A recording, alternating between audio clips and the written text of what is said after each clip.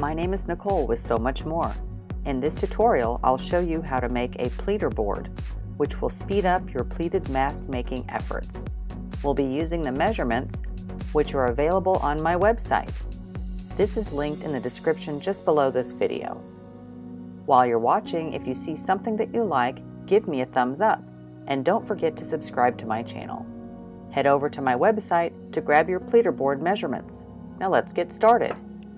Take piece A and align that on the right side of the line that is on the right. Secure piece A with a piece of tape. I'm using extra wide masking tape. Now once piece A is aligned and secure, you're going to flip it over and secure the other side in the same manner.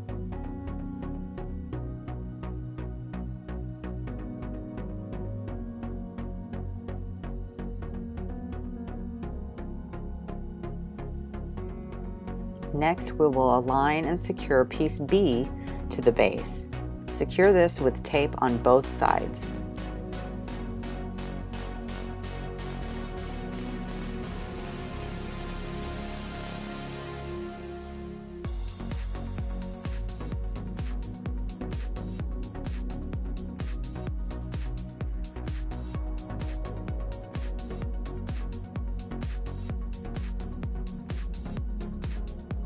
For piece C, we will nest this piece with the underside of piece A and secure it with tape on both sides.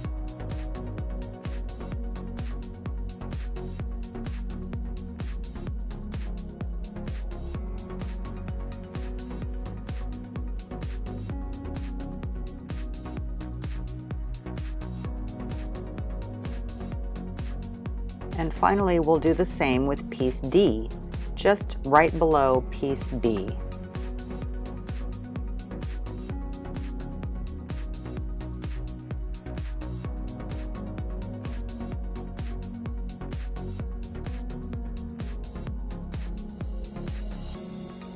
Once you have your pleater board assembled, make sure your base is positioned with the word top on top.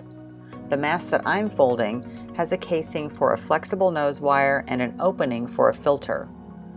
I place my opening right side up and facing right.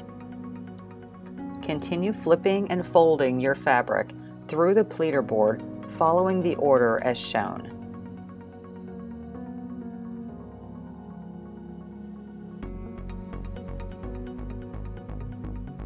Now I've brought out my wool mat. I'm going to press each of the sides. This is completely optional. If you don't want to press, you don't have to. You can just use clips to secure the pleats that you've made. I use four clips, two on each side.